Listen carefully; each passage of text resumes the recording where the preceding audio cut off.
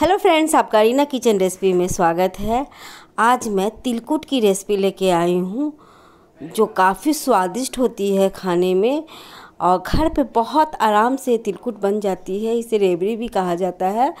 बहुत ही स्वादिष्ट और कड़क बिल्कुल नहीं है, बहुत ही सॉफ्ट है, आराम से आप खा सकते हैं।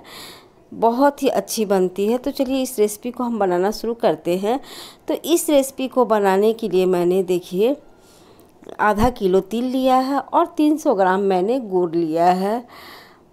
अब हम क्या करेंगे ना, कढ़ाही चढ़ाएँगे और कढ़ाही में बिना तेल के ही हम इसे रोस्ट कर लेंगे और रोस्ट इतना करेंगे जिससे जब हमारी तिल से आवाज़ आने लगेगी ना चटकने की, तब तक हमें इसे रोस्ट करना है और थोड़ी तिल जो है ना, फूल के बड़ी बड़ी दिखने लगेगी और चमकीली दिखने लगेगी।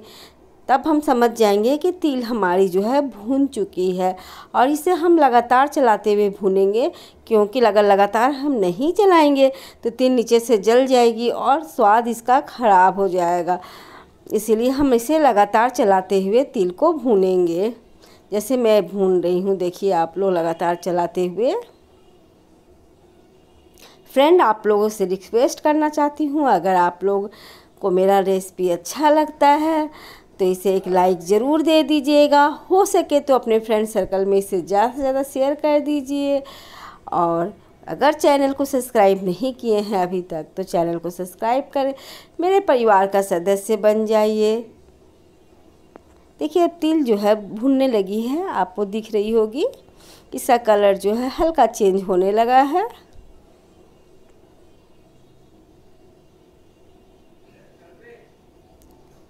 थोड़ी सी आवाज़ में भारीपन आ गई है मेरी, क्योंकि मेरी तबीयत थोड़ी ठीक नहीं है। तो इसको इग्नोर करिएगा।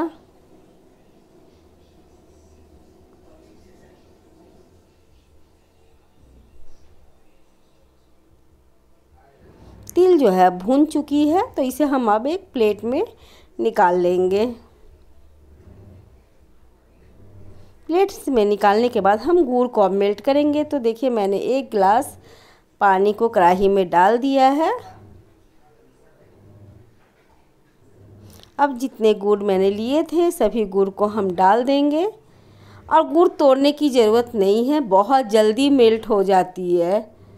यानी कि गुड़ को तोड़े, फिर मेल्ट किए, ऐसे भी डाल दीजिए तो आपको तीन से चार सेकेंड में एकदम मेल्ट हो जाती है। देख लीजिए, मेल्ट हो चुकी है। थोड़े बहुत बच गए, तुरंत मेल्ट हो जाएगी ये।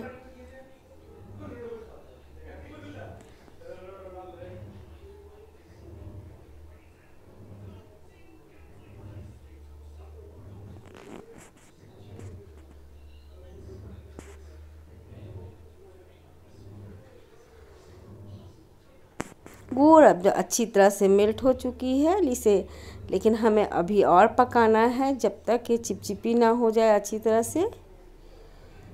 जब गुड़, जब हम कैसे पता चलेगा कि ये तिल बनाने लायक हो गया है? जब देखेंगे कढ़ाई में जो ये चाशनी है, वो एकदम हल्की हो जाए, नीचे से छोड़ने लगे कढ़ाई।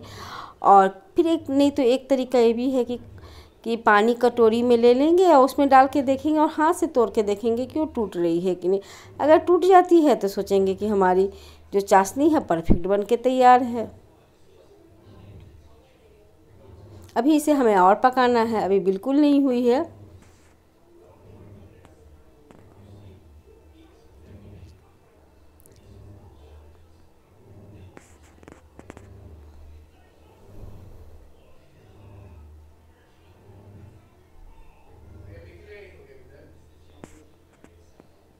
देखिए, अब जो है चाशनी करीब करीब बनने पर हो गई है। लेकिन थोड़ी सी इसे हमें और पकाना है अभी। और देखिए, अब है कढ़ाई एकदम छोड़ चुकी है हमारी चाशनी। और हमने पानी में डाल के चेक भी कर लिया, एकदम टूट जा रही है। अब जो तिल है ना, हम कढ़ाई में डाल देंगे धीरे धीरे करते हुए चलाते रहेंगे। और गुड़ और तिल को अच्छी तरह से हम मिक्स कर लेंगे।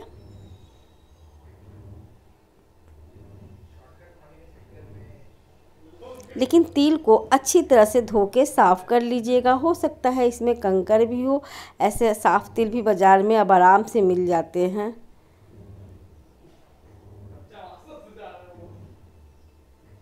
देखिए, अच्छी तरह से मैंने मिक्स कर लिया तिल और गुड़ को और हम इसे गैस से उतार लेंगे।